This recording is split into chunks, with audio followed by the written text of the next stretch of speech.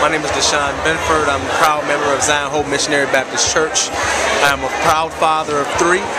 I have two jobs. I'm a security officer and I'm a printer. I praise God all the time, and there is no other way I would rather live than to give my life for God. And I would like to encourage all my black men, all my fellow brothers, that you ought to give your life to Christ. You know, we have tried everything else. Why not try God?